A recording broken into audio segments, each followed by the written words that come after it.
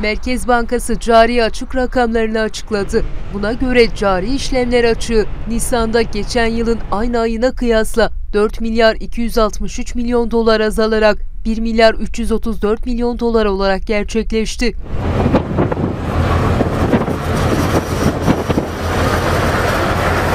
...12 aylık cari işlemler açığı da 8 milyar 634 milyon dolara geriledi. Geçen yılın Nisan ayında 1 milyar 589 milyon dolar açık veren altın ve enerji hariç cari işlemler hesabı bu dönemde 2 milyar 347 milyon dolar fazla verdi.